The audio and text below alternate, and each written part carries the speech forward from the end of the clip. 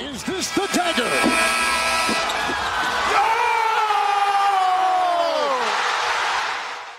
Welcome back to Wavid Dalker. It's NBA Friday, a series that I will stick to all throughout the NBA season. And this first episode is my NBA awards predictions. And you know what? I'll do I'll do champion pick, I guess, as well. I was gonna do standings. I remember last year I did a podcast where I did my NBA standings, but that didn't really get that much traction. So I think just doing a YouTube series with NBA stuff would be great. So I'm gonna do MVP, Rookie of the Year, Six Man of the Year, Defensive Player of the Year, Coach of the Year, NBA Champion. Maybe I'll do my finals pick as well. Um, yeah, I think that's all. I did this last year, and my picks were Luka for MVP, Chet for Rookie of the Year, Schroeder for Most Improved Player. I didn't do Six Man of the Year, which was a lapse in judgment on my part. Uh, did Coach of the Year, Jamahl Mosley. Um, I, I think that's all I did. I did Defensive Player of the Year, which was AD. And I'm a spoiler. Two of these picks are going to repeat themselves because honestly, I may have just been one year ahead. So let's just go into it. Like and subscribe. MVP pick Luka Doncic, same as it was last year.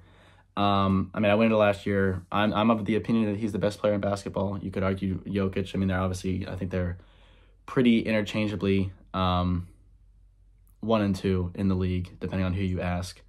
Uh, Jokic obviously winning three of the last four, and I think it's pretty fair to say that voter fatigue is going to play a part in this. I'd be very surprised if he wins his fourth this year, uh, even if he has a wonderful season. I think that's just kind of the nature of the award. Is that that's how it is with LeBron. You could argue LeBron should have you know six or seven MVPs, but you know he won four in five years, and then they're like, ah, sorry, no more. But with Luka, coming off a finals run where he got, you know, oh so close, you know, losing in five obviously, but having a magical run from like the five seed, um, having, you know, one of the best years of his career, 73 points with Kyrie as his running mate. And, you know, his production hasn't really slowed down. If anything, he's gotten more efficient. Um, and his, his biggest issue is just um, the fatigue and his defensive liability. But I think, you know, over the offseason, you saw him slim down a little bit. I'm sure, obviously, all NBA players work on their defense, but I think it's it had to have been much more of an emphasis with him just because, you know, he's one of the best offensive players of all time, honestly. Uh, you know, he he's really great around the rim, great shooter, good handle, one of the best passers in the league. I think he's just such a offensive dynamo. Um, from the guard position, small forward position. I mean, he's just like a, a smaller Jokic with like a worse passer and worse rebounder, I'd say, but a better, I think, overall scorer. Scorer. You know, they're, they're, they're doing two different, they're, they're being asked to do two different things, but their efficiency and production is very similar. So that's why Luka is my pick for MVP. Coming off that finals run, kind of revenge mode Luka. I wouldn't be surprised if we see him average like 38 and 8 with a steal per game on like 50, 37, 85 shooting this year. Like I feel like that's a very realistic thing for Luka. I'm a Luka Glazer. I mean, as you can kind of tell, I just think he's just such a fun player to watch. Um, while you know he is a, a complainer to the refs, a lot of NBA players are like that. He, I guess he just kind of, since he's so good, you kind of scrutinize it a lot more. Same thing with LeBron. You know, people get on his case for complaining, but everybody complained to the refs. MJ did it. Luka's my MVP pick. Uh, rookie of the year. Um, a lot of people are picking, you know, Zach Edey in Memphis, Reed Sheppard in Houston. Reed Sheppard is looked at as, you know, one of the steals of the draft. Um, you know, young point guard out of, out of Kentucky on a team that is run by young players like Jalen Green and uh, um, Jabari Walker. No, that's not right. No, yes it is. No, it's not. Wait, yes it is. Jabari Walker. Uh, am I am I tweaking? Fred VanVleet, Tari Eason, uh, Alperen Sengun. You know, it's a young team. And, uh, you know, people are picking him to come in there and have a big impact. Zach Edey, you know, uh, four-year college pro or college player, uh, two-time Naismith coming off that uh, championship loss to UConn, uh, going into a team that, you know, they have Steven Adams, I think, still, and Jaren Jackson Jr. And, um, you know, seeing him preseason, he, you know, he's good with his feet. He's a very gentle big, but you know he's a big guy, seven five, crazy crazy height. But I think I'm gonna go. I'm gonna dark horse it a little bit. I'm gonna go Alex Sarr out of Washington. Um, rookie of the year is really only based in production. Um, last year it was Wemby, obviously. Um, you know, just putting up ridiculous stat lines, and there really wasn't an argument for Chet. Anybody else? Like I, th- I think he was honestly close to unanimous, if I remember correctly. Uh, Rookie of the Year is a different award Two MVP, two Defensive Player of the Year, to Sixth Man of the Year. It's really just looking looking at, okay, what are your counting stats? Like who is the best player, as opposed to who is the most valuable, who is you know, because Defensive Player of the Year just gets all analytical and everything, but Rookie of the Year is based purely on stat sheet and stat line. So I'm gonna go Alex Sarr. Wizards are a team that are really playing for nothing. They can honestly go 12 and 70, and that'd probably be one or two wins more than they were expecting. Um, you know, you got Jordan Poole, Kuzma, Marvin Bagley. Like, it's just a team full of uh, people on their second or third team, just kind of, I don't want to say washed up because they're all young, but they're teams that kind of had their time in the sun and were discarded. And Alex Sarr is coming in there fresh. I think he's going to have a good season. So he's my rookie of the year pick. Um, six man of the year, Malik Monk, my guy. Go Kings, light the beam. Last year, he won it. And honestly, I wouldn't be surprised if he repeats. So honestly, I think he's gonna be my pick. Just um, you know, because six man of the year, there isn't really a lot of voter fatigue in there. I think didn't like Lou Williams and Jamal Crawford win it a bunch. I don't know, but I think he's gonna win it again. Uh, he's gonna be coming off the bench most likely. It's probably gonna be Fox, Ellis, Murray, DeRozan, Sabonis, and it will be Malik Monk off the bench. I wouldn't be surprised if we see Naz Reid win it.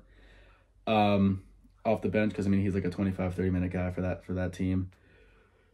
And yeah, he's still probably gonna be coming off the bench even even though they trade KAT. But I wouldn't be surprised if they start him. And for that reason, I think Malik Monk is gonna win Rookie of the Year just because he's gonna have guaranteed more games coming off the bench than starting. Because Naz Reid, I think, got a lot more starting nods towards the end of the year, and that's kind of what secured the award for Monk last season. Um, Defensive Player of the Year, I think I have to go Wemby. Um, you know, Bam is a great defensive player. Rudy Gobert, great defensive player. You know, blah blah blah blah blah. But Wemby, I think he got second in it last year. Um, you know what he's able to do. Like he's one of the guys who I can honestly see him having a um a five by five. I think he did have a five by five last year. You know, he's a very reasonable pick for like a, a quadruple double this year. You know what what he's able to do. One of the best shot blockers in the game he's just intimidating. Like you, you, you saw that clip. I forget who they were playing last year, but you know it was a fast break, two v one. This guy, you know, had a lane to the buck to the basket, but Wemby was there, like a goddamn, you know, looming over him like it's a like he's a street pole, and you know he he reversed and passed it away. So I think just his defensive impact and, I mean, there gotta be a stat for um, like obviously there's shot blocking, there's steals, there's you know you're able to calculate help defense and everything like that, but there has to be a stat for um, just um, neglecting not to score just because you see Wemby, and I feel like that's his impact on the court. So I'm to go Wemby for Defensive Player of the Year. Coach of the Year, last year I picked Jamahl Mosley. And I want to pick Jamahl Mosley this year. Last year, I think it was, um, I think I look it up. Who won Coach of the Year? I think I looked it up last year. I think it was Bickerstaff. Maybe I'm making that up. Um, let's see. 2023 NBA Coach of the Year. Mike, no, Mike Brown was the other one. 2024 NBA Coach of the Year. Mark Dad, yeah, Mark Daigneault uh, for OKC, obviously. I knew that. I remember that. When I was thinking of this video last week, I remember that. Mark Daigneault for the Oklahoma, City Thunder, you know, going from, they were like 30 wins to 57 wins, first in the conference. That's obvious. That makes sense to me. I don't think he's going to win it, win it again. I think OKC, you're going into this season expecting them to be the best team in the West you know, if not that or like the second seed.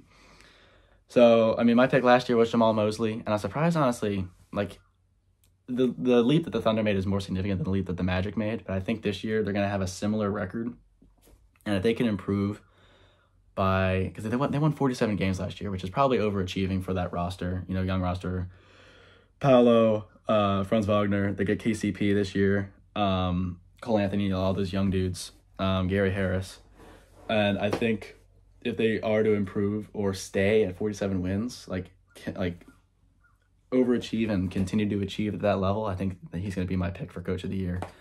But if not Jamahl Mosley, um, I see people uh, picking Coach Bud, but honestly, like the Suns last year underachieved for what they had. And I think even if they improve, I don't think that's due to Coach Bud. I think that's just kind of due to the fact that they have, you know, three of the top 30 talents in the league with Devin Booker, Kevin Durant, and Bradley Beal. So I don't think Coach Bud is a really a reasonable pick. Um, yeah, I'm gonna go Jamahl Mosley again. I know it's kind of boring, but this is a new series, new season, new mindset. Jamahl Mosley's my pick for Coach of the Year for the Orlando Magic. Uh, what was I gonna say? Most improved player. Um, the most improved player award is the one that's most skewed by the media and just kind of the, the perception of it because last year Tyrese Maxey won it, but we all knew he was going to break out. Ja Morant won it for crying out loud a few seasons ago. It's kind of looked at as a award, or it's just like like these players are lottery picks. You know, they're top picks, and they're given the keys to this team. Most improved players should be reserved for third or fourth options that take a big leap in production. Um, my homer, you know, Sacramento Kings fan pick is Keegan Murray. Um, I just think, like honestly, he had a tremendous season last year from his rookie year. Um, you know, he's I think he's honestly one of the best three and D guys in the league. And I think his production's gonna take a step back with DeMar, so honestly he's probably not my pick. But if I had to pick a most improved player for the 2024-2025 season, like the the people's pick is Jalen Williams. Um J Dub for the Thunder. Um, but he already broke out. Like he averaged like what, like 18, 7, and 7 last year, something crazy. Like he's looked at as a player who can do everything well. So I mean, honestly, I think he's probably the safe pick. But you know what? Safe pick, Jalen Williams for the Thunder. Homer, optimistic. I hope so, but no way. Pick is Keegan Murray. I think he's going to improve tremendously. He's already one of the best, you know, on-ball defenders in the league. Um, he took such a great leap last year. You know, he had that game where he had like 12 threes or something crazy uh, Jalen Williams, Keegan Murray pick. And as for my NBA champion pick, I'm gonna go. I mean, is it boring to just say the Celtics again? Um, you know, to not be boring, I'm gonna go Knicks over. You know, no. Thunder over Knicks. Maybe we'll see. Uh, but it'll probably end up being something boring like Celtics Nuggets if we're being honest. But whatever. Knicks Thunder, Thunder over Knicks. That's my pick. Those are my picks. Luka MVP. Alex Sarr Rookie of the Year. Malik Monk Six Man of the Year. Wemby Defensive Player of the Year. Jamahl Mosley Coach of the Year. Jalen Williams slash Keegan Murray Most Improved Player of the Year. Those are my picks. Let me know what your picks are in the comment section below. This has been NBA Friday. See you guys in the next one. Peace out.